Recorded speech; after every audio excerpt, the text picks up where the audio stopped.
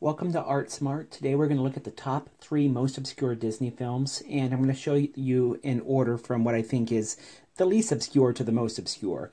The Alice films is obviously not just one film, it is a series of films uh, that was released in the 1920s, but these are all pretty rare to most Disney fans. Uh, these films were created during the silent film era, they were before Mickey Mouse, and this is really the first big success that Disney had he had a live action girl interacting with a cartoon world of characters. And um, this is not necessarily a uh, rare thing when it comes to the animation industry at that time. Many people were combining animation and live action. But Disney uh, was special in that he put a live action girl into a cartoon world, while pretty much everybody else is doing it the other way around a cartoon in a live action world. So Walt had a very uh, novel idea, and it was successful for several years. It was released on a state rights basis uh, throughout the United States, meaning that independent distributors were sending the film all throughout the United States and selling it to individual state areas. And so this film was, uh, I'm sorry, this film series was pretty popular. Uh, it eventually faded out and Disney moved on to other projects, but this is his first big success, and you should know about it and I think it's pretty interesting to watch. Now, for the Newman Laugh-O-Gram films, these were films that Walt Disney created in the 1920s. Again, this is a series of films, but most Disney fans will not know about it. Uh, these were the first films that Disney created, and he made them for the Newman Theater in Kansas City, where he was living at the time. Uh, he animated most of this himself, and you are looking at Disney's hand when he's drawing here.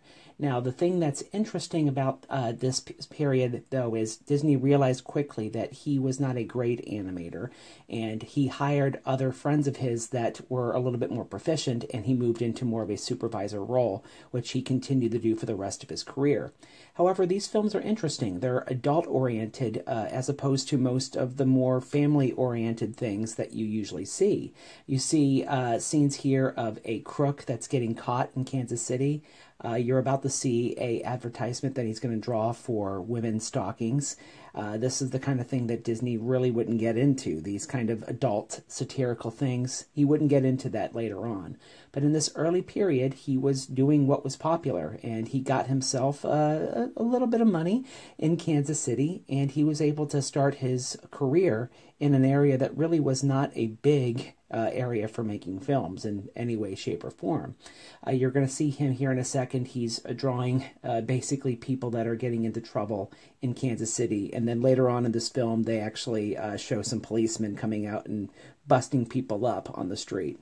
But anyway, we're going to move on to the last film here the Academy Award review of Walt Disney Films. This was released in 1937. This film is so rare, I don't even have clips for you. The only clips I've seen of it were uh, non public domain prints from Mexico. Uh, in the United States, there just doesn't seem to be prints of this film out there, so I'm showing you stills. What this was, was Disney realized in 1937 that a lot of people did not believe that animated cartoons could hold an audience's attention for more than a few minutes. So he strung together several of his best films that uh, had won Academy Awards and had been up for them, and he put them in one package film. And he uh, distributed this kind of around uh, Hollywood and a few other places where uh, critics could see it and people in the industry could see that, yes, people would enjoy looking at an animated film. So, really, these are just shorts packaged together. Uh, and this ran for a short period of time but it did help to show the industry that people could sit and watch a film for, uh, in this case, it was about 40 minutes and not get bored and their eyes wouldn't get sore looking at cartoons. People would very much enjoy it and would have a good time watching an animated film and be engaged. So, this helped Snow White and the Seven Dwarfs in 1937 become successful and uh, become uh, a huge change in the animation industry as the industry moved towards feature films as opposed to doing short subjects.